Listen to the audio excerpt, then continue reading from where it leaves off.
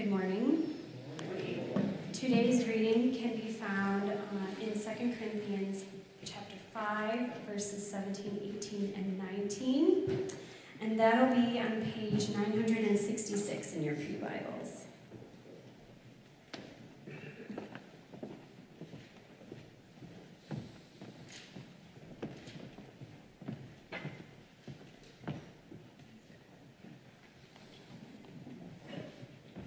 Oh, Sorry, I'm in First Corinthians. It's like a lot. Where is it? All right, there you go.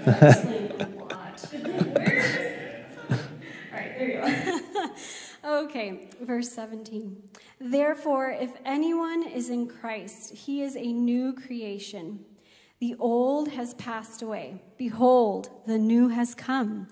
All this is from God, who through Christ reconciled us to himself and gave us the ministry of reconciliation. That is, in Christ, God was reconciling the world to himself, not counting their trespasses against them, and entrusting to us the message of reconciliation. Thanks be to God.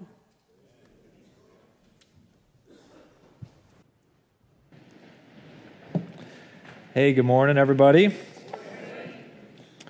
Happy post Easter, Easter tide, uh, as we are in this week. And uh, it's been a minute, but you might recall uh, that last year we were doing a sermon series on Second Corinthians.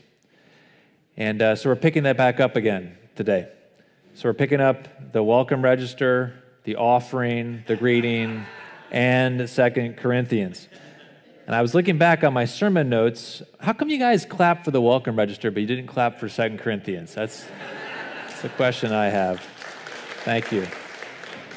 I mean, it's not for me, that's for the Lord. I'm just saying. So, you know, okay. Any case, I was looking back at my sermon notes uh, to see where we had left off last year. October 16th was the last time we preached on Second Corinthians. And I preached from chapter 5, and as I was looking at my notes, I saw that I had said something about picking up the remainder of chapter 5 the following week.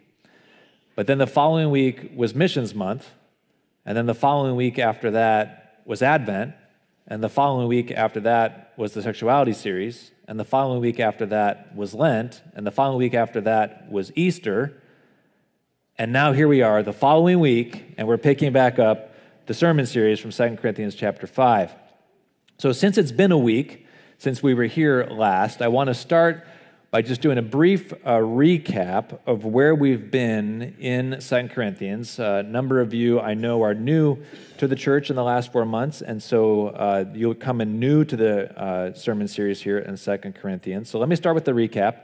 And then we're going to pick up uh, these three verses here in 2 Corinthians chapter 5, verses 17 through 19.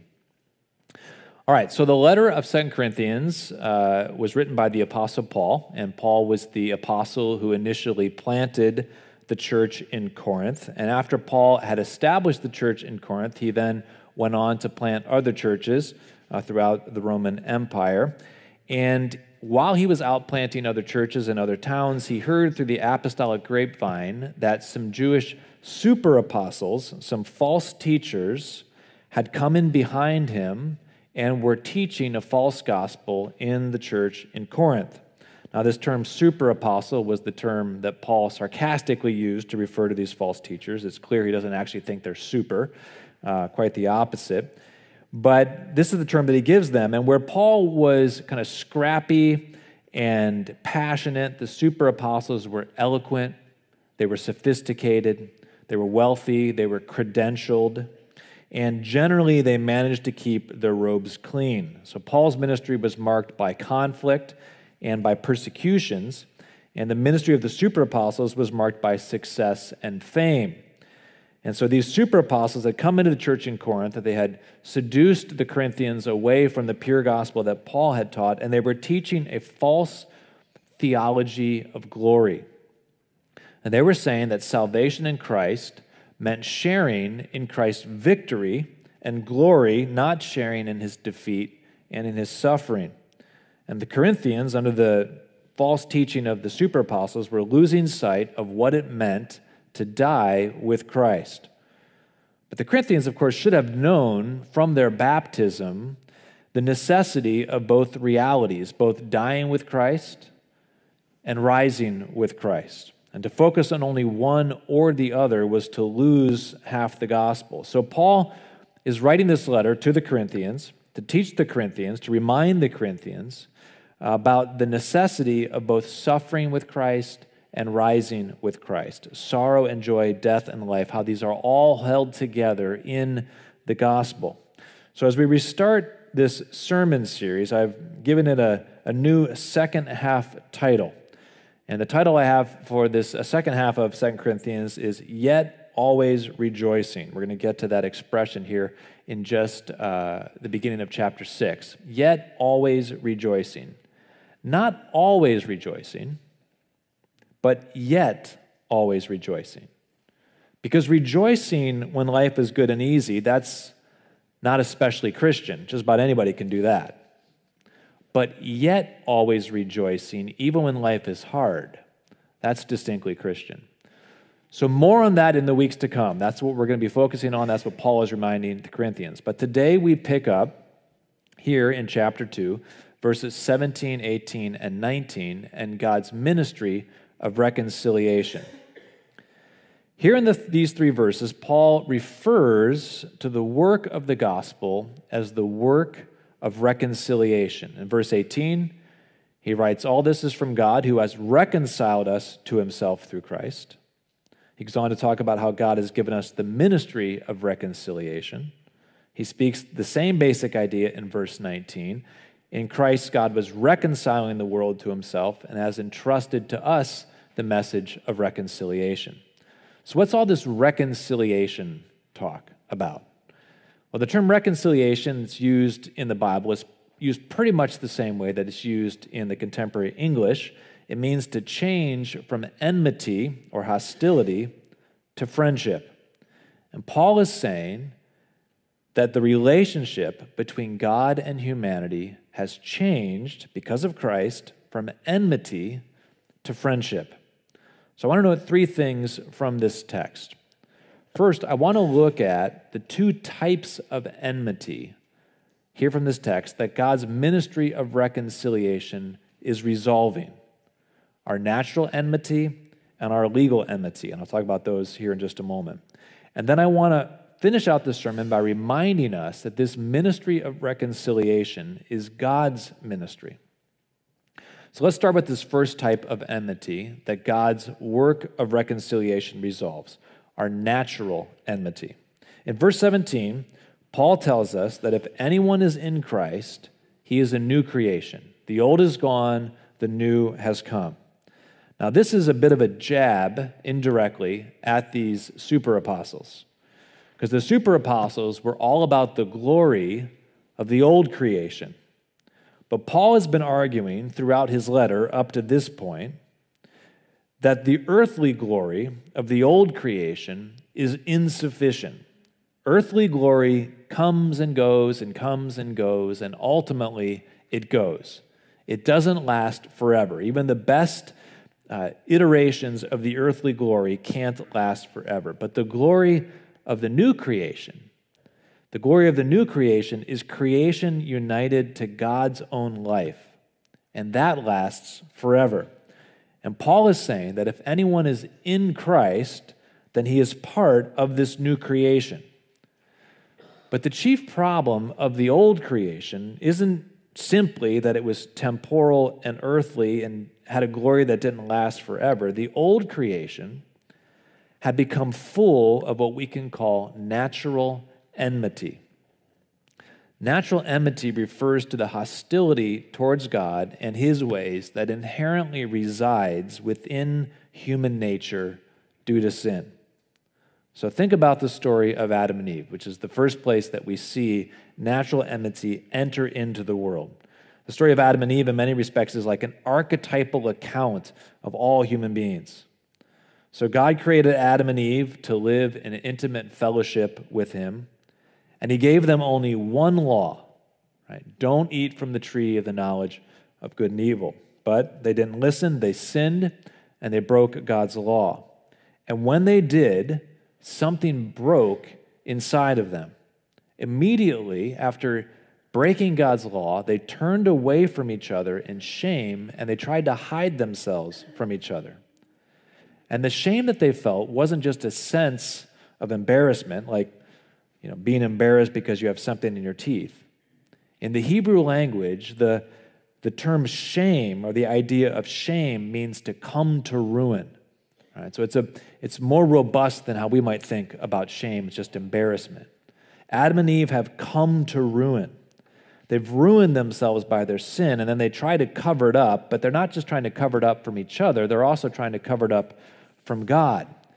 And so when God comes to walk with them in the garden, they run away from him and try to hide, ashamed of what they have become. God was no longer a source of comfort, but had become a source of dread. And then things just go from bad to worse. Adam and Eve's capacity for love turned inward upon itself. And they blame each other for their sin. And then, when their firstborn child, the incarnation of their now inward turned love, is born, he goes on to murder their secondborn. And then, this natural enmity, this natural hostility that's been born in the heart because of sin, is passed on to all of Adam and Eve's posterity. So, as you continue to read through the, the book of Genesis, weapons are forged, more people are killed, the Tower of Babel rises, the whole world descends into chaos and violence so severe that God had to destroy the world with a giant flood and start things over. But despite the floodwaters, the natural enmity inherent within the human heart survives, and it has lived on into the present day. And all of us are born with a share in this natural enmity. So, Paul, in Romans chapter 7, he offers a succinct summary of the human condition lived apart from God's reconciling work in Christ. This is what Paul writes in Romans 7. He says, For we know that the law is spiritual, but I am of the flesh, sold under sin, for I do not understand my own actions. For I do not do what I want, but I do the very thing I hate. For I have the desire to do what is right, but not the ability to carry it out. For I do not do the good I want, but the evil I do not want is what I keep on doing. And this is the natural enmity of sin at work. But the good news of God's ministry of reconciliation is that God is resolving this natural enmity. So in verse 17, back here in 2 Corinthians in our text, when Paul says that if anyone is in Christ, he is a new creation, and that the old is gone and the new has come, he's talking about the healing of this natural enmity. And the Bible uses all sorts of expressions to note the resolution and the healing of this natural enmity. Jesus in the Gospels refers to it as being born again or regeneration or born of the Spirit. Paul uses the expression here of being made a new creation. Elsewhere, he talks about being made alive. The Apostle John speaks of adoption and becoming a child of God. And all of these expressions are not referring to the resolution of our legal standing before God's law, but to the miraculous work of new creation, of renewal that God accomplishes in our hearts through the power of the Holy Spirit which is exactly what the Old Testament prophets predicted that the ministry of the new covenant would be like. If you remember much about the story of Israel, Israel is given a law by God. It's written on tablets of stone, and this law is given to the people of Israel, but Israel is unable to follow the law. And they uh, mess up on the law so bad, just like Adam and Eve in the garden, they mess up on the law so bad that they're driven away from God into exile. But there in exile, God has not forgotten or abandoned his people, and he sends word through the prophets that he is going to make a new covenant with his people. And this new covenant will be unlike the first covenant that was written on tablets of stone. So listen here to this new covenant that is made. It's prophesied in Jeremiah chapter 31. And Jeremiah writes, Behold, the days are coming, declares the Lord, when I will make a new covenant with the house of Israel and the house of Judah not like the covenant I made with their fathers on the day when I took them by the hand to bring them out of the land of Egypt, my covenant that they broke, though I was their husband, declares the Lord. For this is the covenant that I will make with the house of Israel after those days, declare the Lord. I will put my law within them, and I will write it on their hearts. And I will be their God, and they shall be my people. And no longer shall each one teach his neighbor and each his brother, saying, Know the Lord. For they shall all know me, from the least of them to the greatest, declares the Lord. And then you can read more about this new covenant. The prophet Ezekiel also speaks of this new covenant. And here, quoting uh, the message from the Lord, Ezekiel says, I will sprinkle clean water on you, and you shall be clean from all your uncleanliness. And from all your idols I will cleanse you, and I will give you a new heart and a new spirit, and I will put with that I will put within you. And I will remove the heart of stone from your flesh, and I will give you a heart of flesh. And I will put my spirit within you and cause you to walk in my statutes and be careful to obey all my rules. In the new covenant, the old heart of stone is removed. We're given a new heart of flesh. God places his spirit inside of us. He writes his laws internally on our heart so that we'll be careful to walk in his ways and obey his ways of love. And this is the new creation reality that Paul is talking about. Paul is saying the old creation, the glory of the old creation, it can't change who you fundamentally are. It can just give you rules that you have to try to follow and live by, but the rules remain outside of you. But in the new creation reality, under this new covenant, the rules of God moved inside into your heart. You're transformed, you're healed. The enmity that is inside of you that makes you resist God's rules and God's laws is taken away. And some articulations of the gospel forget this reality and reduce the gospel to a matter of divine bookkeeping, as though the only thing that happens in the gospel for sinners is that sinners get forgiven. But nothing really changes inside the sinner.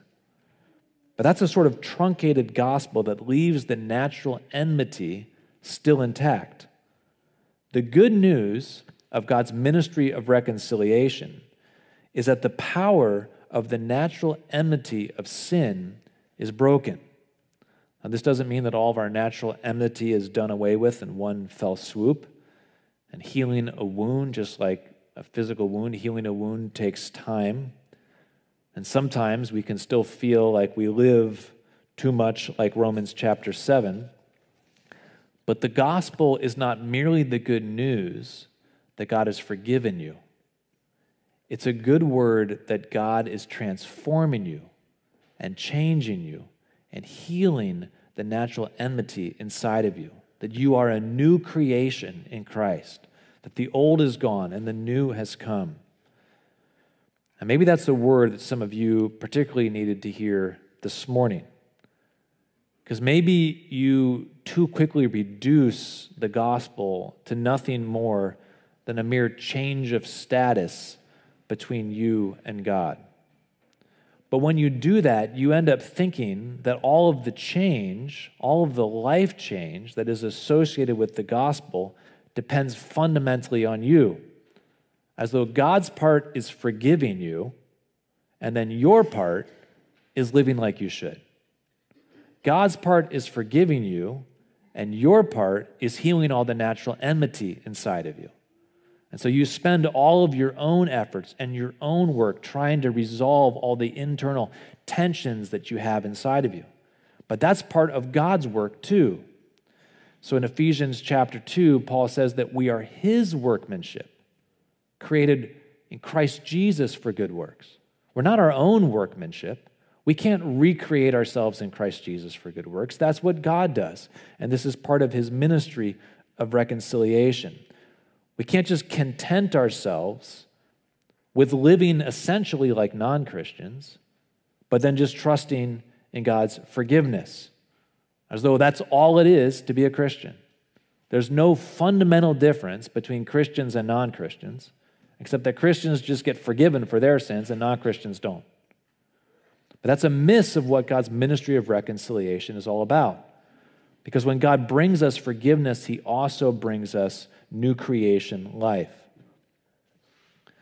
God isn't interested in simply simply forgiving you.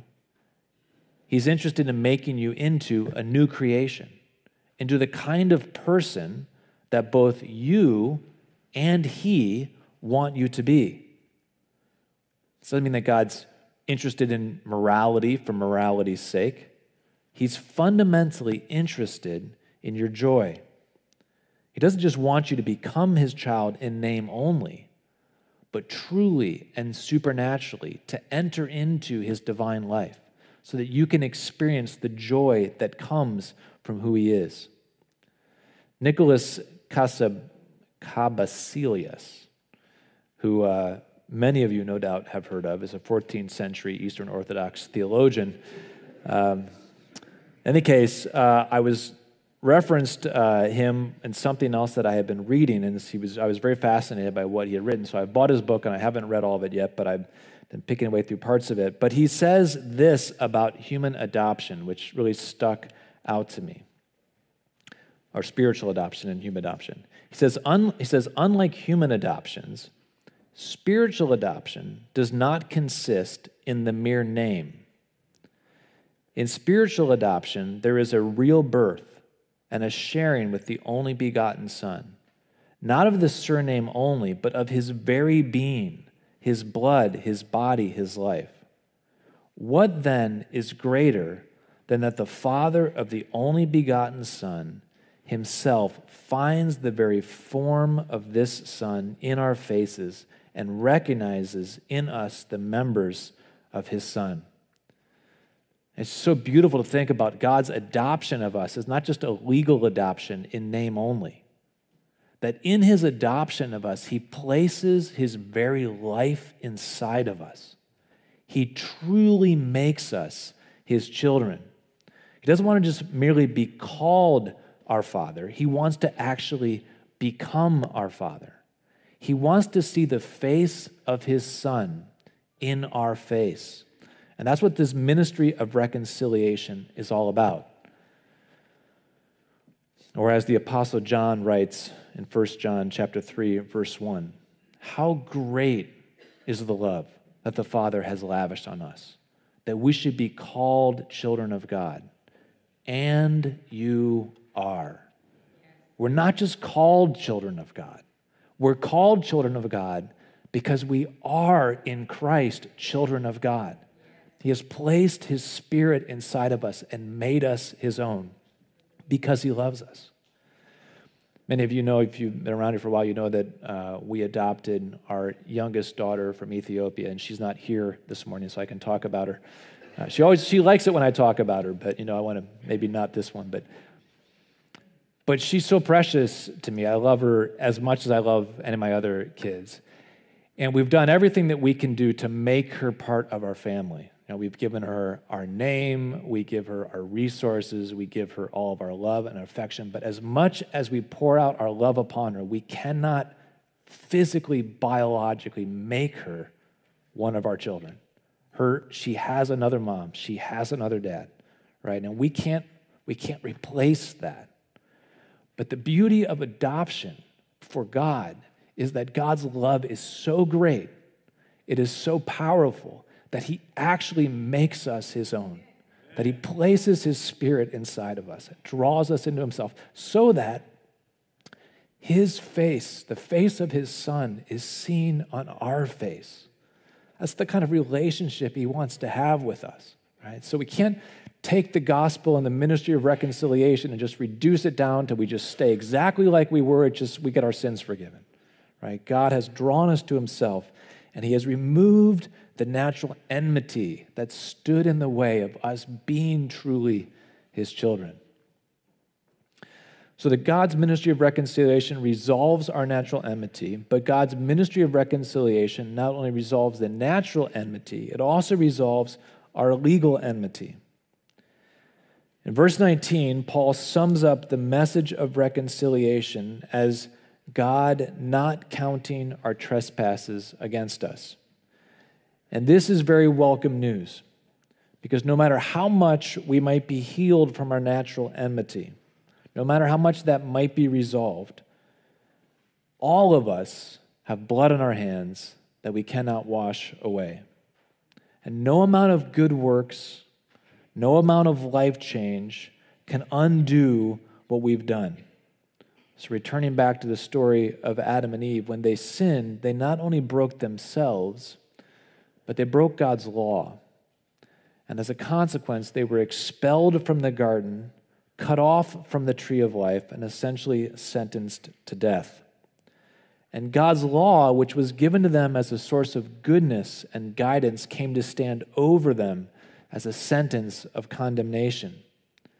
And that same law stands over you and I still today, because all of us have taken a bite of the forbidden fruit, and not just one time.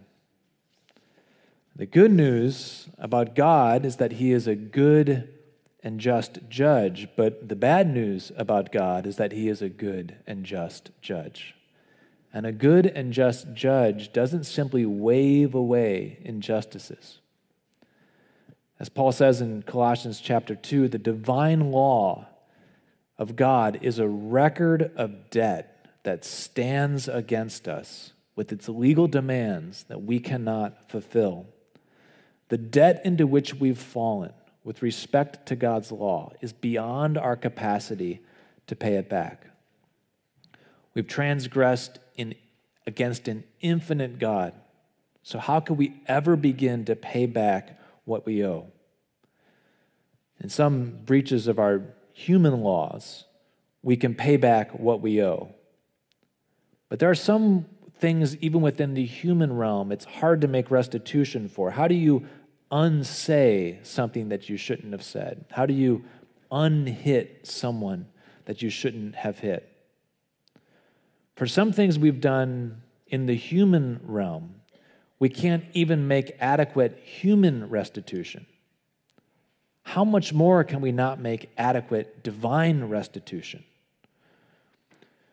Wisława Szymborska who is not an Eastern Orthodox 14th century monk, but is a 21st century poet uh, who I've not read much of, but somewhere I came across this poem uh, that she wrote, and it's called In Praise of Self Deprecation. And it's a poem about carnivores and humans. And it just stands out to me here as it kind of relates to this issue of guilt. She writes The buzzard has nothing to fault himself with. Scruples are alien to the Black Panther. Piranhas do not doubt the rightness of their actions. The rattlesnake approves of himself without reservations. The self critical jackal does not exist. The locust alligator trichina, which is a parasitic worm, I had to look that up, and horsefly live as they live and are glad of it. The killer whale's heart weighs 100 kilos, but in other respects, it is light. There is nothing more animal like than a clear conscience on the third planet of the sun.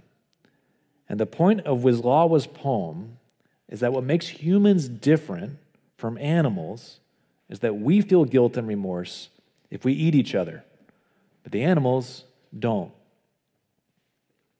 And that if we didn't feel guilt and remorse for the ways that we mistreat each other, we would be just like every other animal that has no conscience. And it's all well and good that we're above the animals, but how do we get free of our guilt? But here's the good news in God's ministry of reconciliation in Christ, He dismisses all of our legal debt. And this is the point that Paul is making in verse 19. God, because of Christ's sacrifice, does not count our sins against us. The debt had to be paid, and it has been paid, but not by us, but by Jesus. And because the debt was paid by Jesus, we are free then from condemnation. And this too was part of the promise of the new covenant. So the author of Hebrews, who is talking about the superiority of the new covenant, over the Old Covenant. You can read this here in chapter 10. He writes this about the superiority of Jesus' sacrifice, the superiority of the, of the new covenant sacrifices compared to the old covenant. He says in chapter 10 For since the law has but a shadow of the good things to come, instead of the true form of these realities, it can never, by the same sacrifices, all the bulls and goats that are offered, uh, make perfect those who draw near. Otherwise, they would, would they not have ceased to be offered, since the worshippers, having once been cleansed, would no longer have any consciousness of sin. But in these sacrifices, there is a reminder of sins every year, for it is impossible for the blood of bulls and goats to take away sins. Every high priest stands daily at his service, offering repeatedly the same sacrifices, which can never take away sins. But when Christ had offered for all time a single sacrifice for sins, his own sacrifice for sins, he sat down at the right hand of God, waiting from that time until his enemies should be made a footstool for his feet. For by a single offering, he has perfected for all time those who are being sanctified. Christ, by a single offering, has perfected for all time those who are being sanctified. We're all in the process of being sanctified, having the natural enmity be resolved. But as we are in the process of being healed, Christ has offered one sacrifice that cleanses all of the legal guilt that stands against us. And maybe that's a needed reminder for some of you this morning because your sins have stacked up against you and you can't see your way free from guilt and regret. And no amount of hand washing or acts of reform can give you a sense of peace that all is resolved. And the things that you've said you can't unsay, the deeds you've done that you can't undo, they haunt you when you lay your head down on your pillow at night. But God in Christ has paid your debt in full through the sacrifice of Jesus. And the blood of the infinite Son cancels out your infinite offense against divine justice. And so we can be at peace this morning as children of God, knowing that Jesus has perfected for all time those who are being sanctified. God's ministry of reconciliation resolves both the natural enmity and also all the legal enmity that stands against us. So let me close out here then by finally reminding ourselves that God's ministry of reconciliation is God's ministry of reconciliation. In verse 18, Paul says that the ministry of reconciliation afforded through the new covenant is from God. You see here in the text, he says, All this is from God. God is the one who in Christ has changed the relationship between God and humanity from a relationship of enmity to a relationship of friendship. And I think we can get so focused on the fact that God has given us this ministry of reconciliation to pass on to others that we can forget where it came from in the first place. The ministry of reconciliation is God's ministry of reconciliation. Yes, it's passed on to Christ, who passed it on to the apostles, who passed it on to us, who passed it on to the world, but the source and the summit of the ministry of reconciliation is God. It is from God and it leads us back to God. He is the one who does the work of reconciliation. And God didn't wait for us to stop being his enemy before he moved towards us in a posture of reconciliation. So, as Paul says in Romans chapter 5, verse 10, while we were enemies, we were reconciled to God through the death of his son. So often in human relationships, when two parties are at odds with each other, both parties have a share in the blame for the state of the disrepair of the relationship. And in human ideas of justice, the party who is most to blame for the state of disrepair is expected to make the first moves to breach the gap and to cross the most distance in restoring the relationship, which, of course, in human relationships is complicated and tricky because we can never agree who is most to blame. And this happens all the time in marriages. Not in my marriage, of course, but I've heard that it happens in other people's marriages. The wife thinks the husband is completely impossible, totally to blame, and needs to do the most work to reconcile the relationship. While at the same time, I heard an amen. I heard an amen. While at the same time, the husband thinks the wife is completely impossible, totally to blame, and needs to do the most work to reconcile the relationship. And truthfully, this happens not just in marriages, this happens all the time in friendships and family and beyond. and both think the other person is chiefly at fault. And so they sit on opposite sides of the table, expecting the other to move towards reconciliation. But that's not how God's ministry of reconciliation operates. The full responsibility, the complete and total responsibility for the broken relationship between God and humanity lies on our side of the table. We wrecked ourselves with our sin. We racked up a legal debt that we couldn't pay, all through no fault of God. But God, at great cost to himself, knowing that we are the ones to blame, because of the great love with which he loved us, he has made the first and decisive move to repair our broken relationship with him. And he has bridged the entire distance himself. When we didn't have it in us to even take the first step, when we could not because the natural enmity had too strong of a hold in us, he came all the way to us and held out his nail pierced hand in a peace offering. And it's so important that we never lose sight of this, lest we fall into the trap of thinking that the burden of repairing our broken relationship with God lies chiefly on our side. If we forget that God is the source and the initiator of reconciliation, then we start to imagine when we sin that God moves away from us, arms crossed, with a scowl on his face expecting us to close the relational distance. But that's not how it is with God. We cannot pay our legal debt. We cannot pay it. And we cannot heal our heart.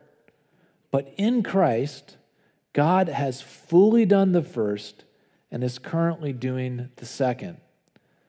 And God's heart is like the heart of the Father in the story of the prodigal son always looking down the road in hope, always waiting for our return, always wanting to see us.